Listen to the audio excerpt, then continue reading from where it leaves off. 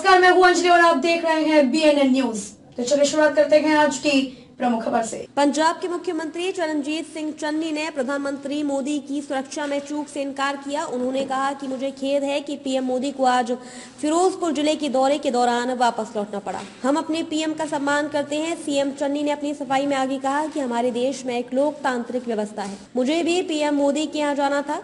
लेकिन सहयोगी के कोरोना पॉजिटिव निकलने पर मैं नहीं गया। इसलिए मैंने वित्त मंत्री मनप्रीत बादल और डिप्टी सीएम को पीएम मोदी के स्वागत करने की ड्यूटी सौंपी। चरणजीत सिंह चन्नी ने कहा कि प्रधानमंत्री की सड़क मार्ग से यात्रा करने की योजना अंतिम समय में मनाई थी। एक स्थानीय टीवी चैनल पर बोलते हुए सीएम ने कहा, कोई सुरक्षा चूक नहीं हुई है। मैं कल देर रात उनकी रैली की सुरक्षा व्यवस्था देख रहा था। पीएम की सड़क की योजना अंतिम समय में बनाई गई थी। उन्हें पहले हेलीकॉप्टर से यात्रा करनी थी। दरअसल, पीएम मोदी पंजाब बठिंडा पहुँचे थे। यहाँ से उन्हें हेलीकॉप्टर से हुसैनी वाला में राष्ट्रीय शहीद स्मारक जाना था। लेकिन खराब रोशनी और बारिश के चलते पीएम मोदी 20 मिनट तक इंतज़ार करते रहे। लेकिन मौसम में सुधार नहीं हुआ तो उन्होंने सड़क के रास्ते राष्ट्रीय शहीद स्मारक जाने का फैसला किया।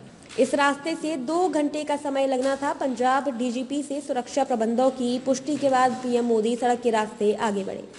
राष्ट्रीय शहीद स्मारक से करीब 30 किलोमीटर पहले पीएम मोदी का काफिला जब फ्लाईओवर पर पहुँचा तो यहाँ कुछ प्रदर्शनकारियों ने रास्ता रोक रखा था। इसके चलते पीएम मोदी के काफिले को 15-20 मिनट तक फ्लाईओवर पर रुकना पड़ा। इसे पीएम की सुरक्षा में बड़ी चूक माना जा रहा है। अब इस घटना को लेकर चन्नी सरकार मुसीबत में फंस गए हैं। गृह मंत्रालय ने तो तलब किया है कि बीजेपी के दिग्गज नेता भी कांग्रेस पर गंभीर आरोप लगा रहे हैं। बीजेपी अध्यक्ष जेपी नड्डा ने कहा कि अपनी घटिया हरकतों से पंजाब की कांग्रेस सरकार ने दिखा दिया है कि वह विकास विरोधी है और प्रधानमंत्री के लिए भी उनके मन में कोई सम्मान नहीं है। नड्डा ने यह भी कहा कि सबसे बड़ी चिंता की बात यह है कि ये घटना पीएम मोदी की सुरक्षा में बड़ी चूक थी। पंजाब के प्रमुख सचिव और डीजीपी से एसपीजी को कहा गया था कि पीएम मोदी का रूट साफ़ है। इसके बावजूद वहाँ प्रदर्शनकारियों को जाने दिया गया।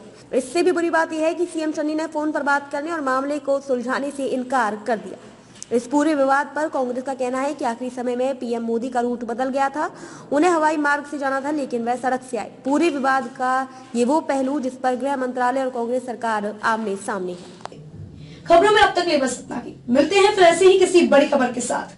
तब तक के लिए नमस्कार और देखते रहिए बीएनएन न्यूज़